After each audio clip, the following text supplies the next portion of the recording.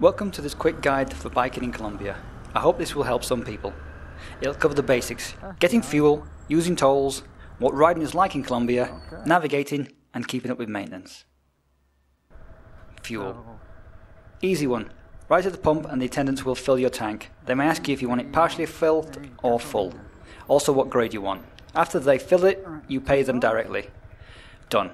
Some stations may even offer complimentary coffee. Tolls.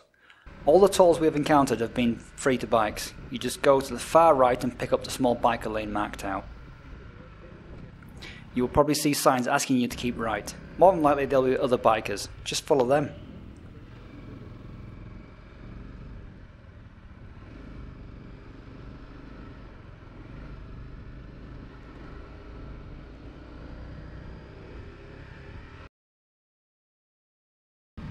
It'll be obvious when you are in, on any Colombian roads that bikes rule.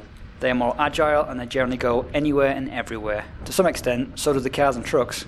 Road rules are only a loose guide here. Speed limits are ignored completely. The best advice I can give is to go the same speed as the locals. It looks like chaos, but it works because everyone else rides and drives the same.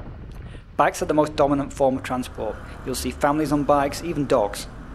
Bikes will take, overtake, undertake, and generally weave in between you, so make sure you get a good use of your mirrors.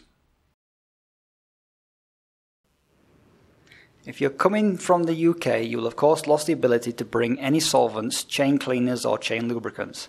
Other countries don't seem to have such a restriction. So, what can you do to clean your chain? My go-to, paraffin or kerosene, is not freely available. One choice is to head to your local home centre where you can pick up specialist chain cleaners, but these last maybe one or two cleans and then it's all gone. But you can pick up chain lube.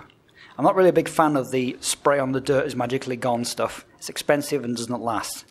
I opted to use WD 40 this time round. It's kerosene based and cheaper than the sprays by volume.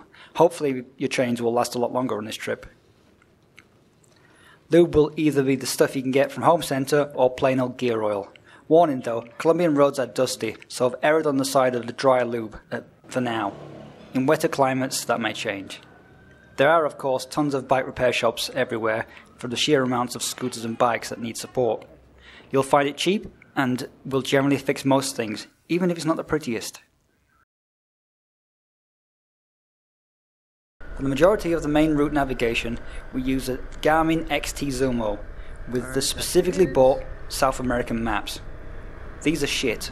The sat nav is affectionately being called Dickhead, as it has a habit of taking up one way streets and often a long way around to places.